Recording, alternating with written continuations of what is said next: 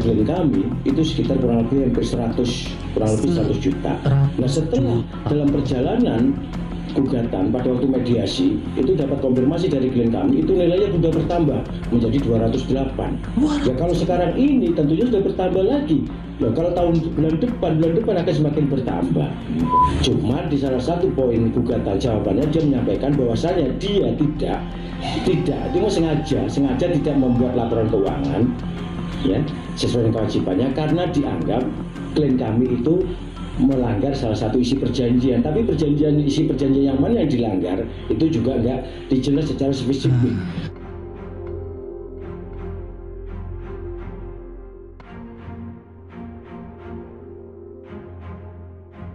Hai Palop-Palop, selamat datang kembali di channel Ujang Halu. Palop-Palop ke mana aja selama ini?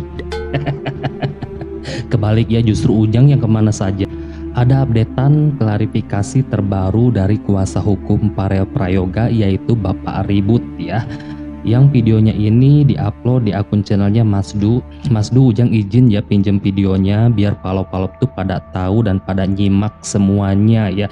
Nggak cuma nonton di judul saja tapi mereka harus nyimak sampai selesai video ini agar tidak terjadi salah paham. Kadang ada palop yang suka bilang nggak usah di-up lah masalah ini justru ini harus di-up biar palop-palop yang nggak tahu tuh tahu permasalahannya tuh seperti apa kalau gak di up nanti banyak palop-palop yang gak tahu masalahnya terus langsung asal menyimpulkan saja kan itu nanti bakal banyak pihak-pihak yang dirugikan. Nah dengan menyimak video ini kita bisa tahu akar masalahnya di mana, permasalahannya sudah sampai di mana loh seperti itu loh palop-palop. Baiklah kita akan menyimak sama-sama eh, keterangan dari Bapak Ribut ya mengenai eh, masalah sidang gugatan, gugatan terkait kontrak dan masa depan para prayoga. Mari kita mulai. Baik, Assalamualaikum warahmatullahi wabarakatuh. Waalaikumsalam. Ada di sini semua dan para palop di sini kita sudah ada uh, kuasa hukum dari keluarga para prayoga yang sudah tidak asing lagi ya, sudah pernah wawancara Bapak Ribut Puryadio ya dan dan Bapak Aris Aris Bianto. Bapak Aris Prianto ya Bapak Ribut Puryadi dan Pak Aris Prianto ya. Uh, saya siapa ya? Alhamdulillah. Uh, dan di sini juga ada idola kita para prayoga Jarel Gede Payung ikutan rapat. Pak Jokon. uh, ini teman-teman uh, mohon maaf ya kita para YPS uh, bukan berarti ingin membahas kok. Mengungkit-ungkit terus hal ini tapi karena memang ini sidangnya belum selesai ya. Jadi uh, ada hal yang perlu uh, disampaikan. Uh, tentunya kita harus tahu. Harus Uh, tahu. sebelumnya kita uh, ada momen di mana uh, tiga kali sidang pembacaan gugatan ya. Jawaban dan juga replik yang uh, kita belum tahu persis uh, isinya walaupun pembacaan gugatan waktu itu sudah ada di radar Banyuwangi Ya. mungkin boleh diulangi Pak Ribut uh, waktu itu kita nggak tanya Pak ya Uh, apa saja materi gugatan waktu itu Pak Ribut Ya, ya makasih atas partisipasi dari rekan-rekan itu sekalian. Sebelumnya saya ucapkan Assalamualaikum warahmatullahi wabarakatuh. Waalaikumsalam. Dan salam sejahtera untuk kita semuanya. Eh, jadi yang perlu kami sampaikan dalam konteks perkara yang sedang kami tangani, nah, kami atas dan untuk nama klien kami Pak Joko Suyoto sebagai seorang tua artis Farel Prayoga menyampaikan bahwasanya Pak Joko mau ingin menyampaikan hak ya hukum ya yang diakui oleh hukum itu dengan mengajukan gugatan di pengadilan negeri Banyuwangi terhadap saudara tergugat. Kenapa Pak Joko ini mengajukan gugatan? Tentunya ada suatu alasan hukum yang dibenarkan atau diperbolehkan oleh kaidah hukum. Pak Joko sebagai orang yang terikat dalam perjanjian kerjasama manajemen artis uh, Farel Prayoga merasakan atau mengalami suatu keadaan bahwasanya tergugat dalam perjalanan perjanjian kontrak yang tantangani tidak melaksanakan salah satu kewajibannya yaitu membuat laporan keuangan setiap satu bulan kepada penggugat dalam arti kepada Pak Joko Baik. sebagai pihak kedua dalam perjanjian. Yang berakibat Pak Joko ini men- mengalami menderita kerugian Ya. secara material. Kewajiban itu sudah dicantumkan secara jelas dalam akte perjanjian kerjasama. Seharusnya apa yang menjadi hak dan kewajiban yang telah disepakati itu harus dilaksanakan secara sukarela oleh para pihak. Klien kami uh, artis pada Prayoga sudah melaksanakan semua kewajiban sebagai apa yang diperjanjikan. Nah, tetapi dalam pelaksanaan kontrak ternyata dari pihak tergugat dari itu waktu itu pihak ke-1 dalam uh, dalam akte perjanjian kerjasama tidak melaksanakan kewajiban tadi yang saya sebutkan tidak membuat laporan keuangan Hmm. setiap satu bulan kepada penggugat Hmm. Oh, gitu. Sehingga menimbulkan Hal ini berakibat apa? Karena tidak ada laporan keuangan, tentunya hak dari penggugat yang sebesar 70% dari keuangan atau penghasilan saudara Farel Prayoga kan tidak menjadi jelas. Hmm. eh, Oke. terkait eh, ketidakjelasan ini, Pak. Eh, saya mohon bisa tanya ke Farel ya. Ya. Eh, pernah nggak mengkomunikasikan secara baik-baik sebenarnya sebenarnya ke pihak tergugat ya? Eh, pernah waktu itu bahkan kita pernah ketemu ada Om Rais, ada saya, ada Bapak, kita pernah nagih waktu itu. Kita pernah nagih beberapa kali. eh eh, itu ada yang di TF, tapi itu enggak semuanya. Belum semua. Ya, itu kan terus bilangnya tuh besok saya TF ya, besok saya TF itu. Itu sampai tiga bulan sampai sekarang Tiga belum TF. bulan. Tuh. Sampai tiga Berarti bulan. dengan adanya jawaban besok saya itu eh, pihak tergugat juga menyadari bahwa itu kewajibannya Pak ya menurut Bapak Ribut ya. Eh, pihak kedua maksudnya. Pihak tergugat Pihak sebenarnya tergugat seharusnya ya nggak usah menyadari memang itu sudah diatur dalam perjanjian ya, itu kewajiban. dengan jawaban ke Farel tadi kan besok saya transfer berarti kan eh, Oh iya. benar ya. Heeh. Jadi memang itu haknya haknya dari uh, Farel Prayoga 70% dari penghasilan itu kan haknya Farel. Oh, itu iya. kan seharusnya di, diberikan. Nah, diberikan itu dasarnya apa? Kan dasarkan laporan keuangan. Tentunya kan dalam satu bulan itu ada berapa job, ya kan? Iya. Berapa nilainya, dikurangi biaya-biaya. Seperti kalau misalnya seperti itu buat laporan kan seperti itu. Jadi yang pendapatan bersih itu kan dibagi 70 30 kan begitu. Nah ini kan nggak dilaksanakan sehingga pada waktu gugatan kami ajukan itu nilai yang tidak diberikan oleh kepada klien kami itu sekitar kurang lebih hampir 100 kurang lebih 100 juta. Nah setelah dalam perjalanan gugatan pada waktu mediasi itu dapat konfirmasi dari klien kami itu nilainya sudah bertambah menjadi 208. Ya kalau sekarang ini tentunya sudah bertambah lagi. Loh, kalau tahun bulan depan bulan depan akan semakin bertambah. Karena terjadi terjadi partai ini kan selalu mendapat job. Nanti Itu kalau sampai hal ini kondisi ini seperti dibiarkan kan semakin besar kerugian yang Hmm, hmm. diderita oleh klien kami. Iya. iya. Kan kasihan. Dia yang bekerja, Hmm. yang berusaha menganukan mengeksplos- eh, mengeksplorasi apa mengeksplor talentanya, haknya kok kenapa haknya untuk tidak diberikan. Nah, di dalam jawabannya Nah ya, ya ini Ya. saya tanyakan di dalam surat jawaban ada jawaban di ya. dalam surat jawaban tergugat Ya. yang disampaikan secara elektronik kami membaca penggugat tidak secara tegas menyampaikan sudah atau tidak atau belum membuat laporan keuangan. Cuma di salah satu poin gugatan jawabannya dia menyampaikan bahwasanya dia tidak tidak dia mau sengaja sengaja tidak membuat laporan keuangan ya sesuai dengan kewajibannya karena dianggap klien kami itu melanggar salah satu isi perjanjian. Tapi perjanjian isi perjanjian yang mana yang dilanggar itu juga enggak dijelas secara spesifik. Kalau misalnya dia menyatakan ada dia melanggar kontrak kaitannya sama album-album yang mana itu harusnya dijelaskan seperti itu. Hmm. dan itu tidak ada klausul di dalam perjanjian kalau eh, dia itu tidak mau tidak melaksanakan membuat laporan keuangan karena alasan tidak. Harusnya dia secara sukarela membuat laporan keuangan itu yang terpenting. Membuat laporan keuangannya ini bukan masalah uangnya dulu. Membuat laporan Laporan keuangan. dulu, ya. iya membuat laporan keuangan sehingga menjadi jelas berapa nilai pendapatan dari saudara artis Farel Prayoga. Itu yang harus teradakan pembagian 30-70 sesuai dengan perjanjian. Nah ini kan laporan keuangan juga dibuat bagaimana menghitungnya 70-30 Hmm. ya. Kalau misalnya secara profesional seharusnya manajemen profesional itu harus akuntabel harus dibuat laporan resmi Hmm, setiap bulan. Kalau ada job ya harus ada job nilainya berapa. Hmm. kalau nggak ada ya nggak ada terus nihil kan begitu? Baik, baik. Nah, seperti itulah kalau persoalan ini sampai dibiarkan terus berlarut-larut kan kasihan kepada klien kami, artis Iya. yeah. Yoga.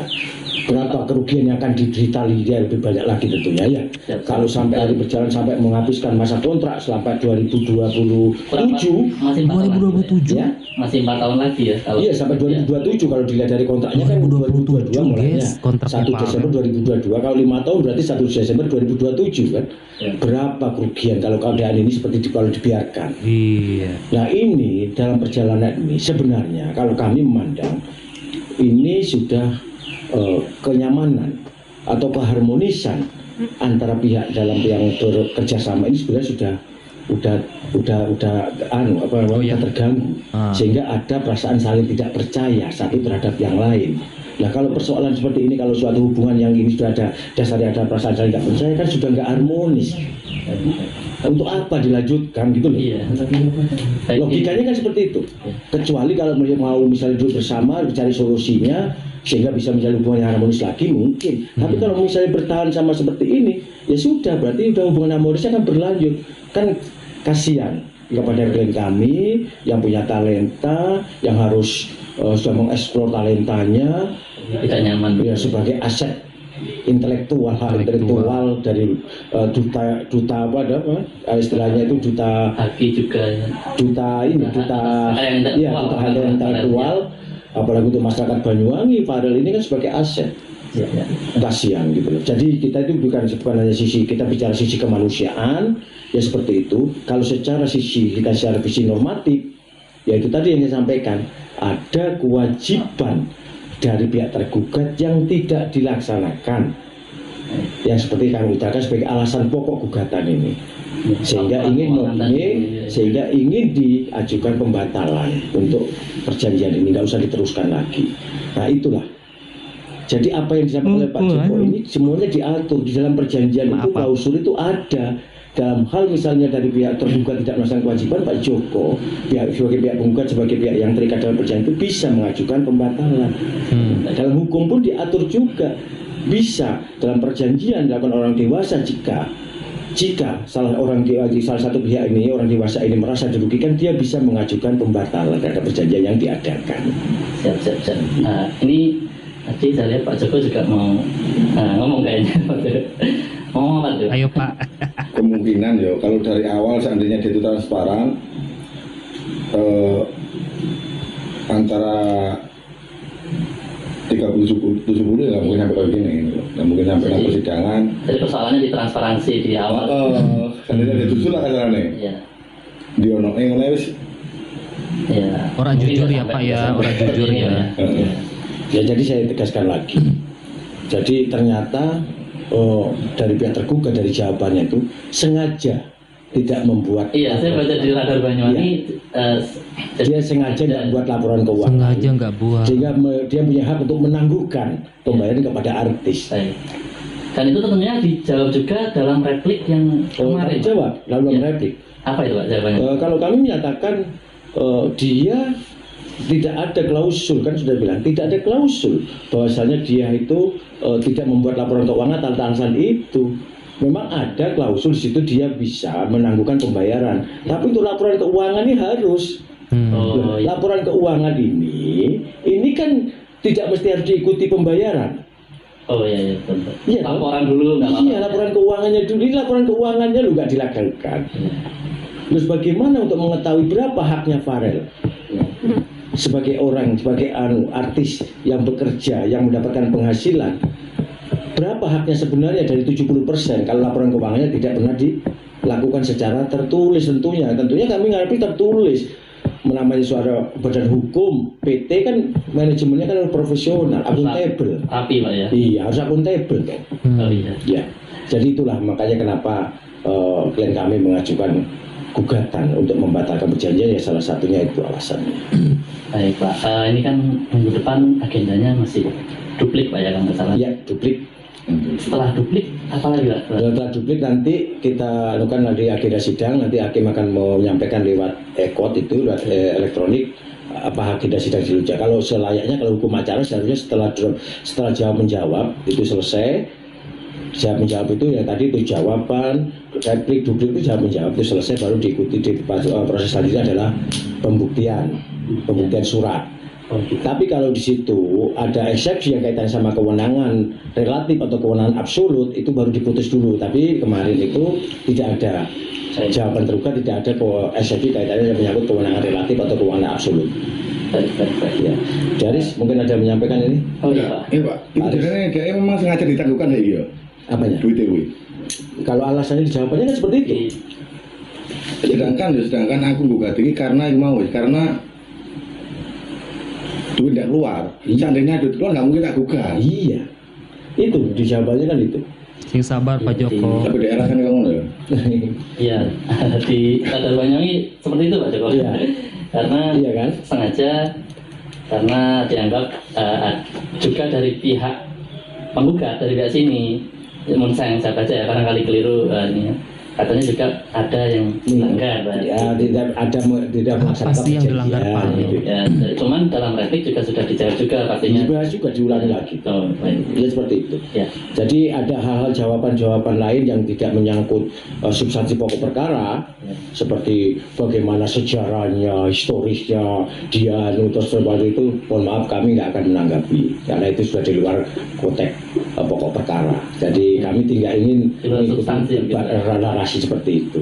baik. Jadi kami ada fokus pada pokok gugatan dan gimana dia menjawab pokok gugatan itu aja. Ah, Adapun hal yang lain yang dijawab oleh dia dalam jawab tergugat oleh tergugat berkaitan dengan eh, narasi-narasi atau sejarah-sejarah atau apa tentang yang lain-lain, ya kami nggak akan menanggapi. Hmm. baik, baik. Eh, mungkin Daris mungkin ada Pak Aris. Ah, ini kan eh, minggu depan Iya. ada jadwalnya duplik lalu dan seterusnya Eh, bagaimana Pak persiapan eh, tim kuasa hukum untuk Ah. ke depannya nih Pak Aris? Iya, untuk berjalannya sidang ini kemarin kita menggugat, kita sudah dapat jawaban dari pihak tergugat. Ya. Terus untuk menjawab jawaban tergugat ini kita ada replik kan, kan sudah kita kirimkan replik itu kita sampaikan pada tanggal 21 kemarin. Nah, tanggal 28 besok itu agenda duplik yang akan disampaikan pihak tergugat kepada kami. Jadi untuk saat ini berjalannya sidang eh, sebagaimana yang disebutkan atau dijelaskan Pak Ribut tadi sampai dengan replik ya yang sudah ya dan besok eh, tanggal 28 itu akan menyampaikan duplik dari pihak tergugat secara elektronik. Nah selanjutnya nanti eh, agenda sidang pembuktian itu bisa dilaksanakan secara offline tatap muka. begitu. Untuk saat ini ya, kita memang eh, berjalannya sidang ini kita melakukan eh, via elektronik yaitu sistem elektronik ekot. Jadi sidang secara elektronik. Jadi kita tidak tatap muka. Ditunggu dulu kira-kira materi dupliknya dari pihak Iya, tanggal Pak, 28 gitu, Pak, ya? tanggal 28 besok Dan ini ini yang penting juga hari buat, Kamis. buat Palok ini Pak Arel, Pak dan semua Mungkin makanya mengira kan sidang itu kan panjang Pak Ini dikira sudah selesai apa gimana Ini berarti kan masih butuh eh, begini ya Yang namanya sidang kan butuh dukungan moral ya, ya. Masih butuh sampai eh, ini Rel, ya Sampai selesai begitu ya Iya. Hmm, masih panjang kali ya prosesnya. Hmm, Terus eh, ini Pak mungkin pertanyaan sedikit numpak Iya. kita youtuber pohon sawo ini kan memang ke kesehariannya ngonten Farel dan keluarganya. Ya. Jika jika ada yang bilang kok nggak netral nih yang di apa yang di konten dari pihak sini ini kan tapi kan kalau apa kan kita memang kesehariannya memang konten eh, memang Farela dan keluarga aja Pak. Eh, itu apakah saya kalau bilang saya kan punya hak untuk uh, ibaratnya ya konten di sini aja Iya. itu kan eh, bagaimana pak? Apakah benar seperti itu? Ya kalau menurut kami sih ya yang namanya youtuber yang konten itu kan dia menyampaikan apa yang disampaikan oleh narasumber langsung. Iya. Iya toh, Ya. kan tidak menanggapi apa yang disampaikan oleh narasumber. Kalau menanggapi itu nanti menimbulkan opini atau tendensius keterpihakan. Tapi kalau tidak menanggapi, ya apanya yang mau ditanggapi langsung dari sumbernya yang menyatakan? Ya, Bukan betul. kami ya yang ngomong ya. Eh, iya, itu tentunya Sama kayak ada Ujang dari ya. pihak-pihak seperti apa eh, yang ada yang yang apa namanya ada ada juga itu yang yang bagian untuk menanggapi kan ada. Kalau menanggapi itu misalnya sifatnya berdalam kecenderungan atau memihak atau menyudutkan satu satu lain itu namanya ada keterpihakan. Tapi kalau jenengan yang bersampaikan di dalam ini konteks yang sekarang ini jenengan menyampaikan apa langsung menyampaikan kepada masyarakat menyampaikan kepada masyarakat apa yang diberikan kepada kami langsung apanya yang keterpihakan Iya. Ya kalau misalnya dari pihak yang merasa anu ya kok enggak anu? Ya silakan ngundang youtuber sendiri juga tuh harusnya.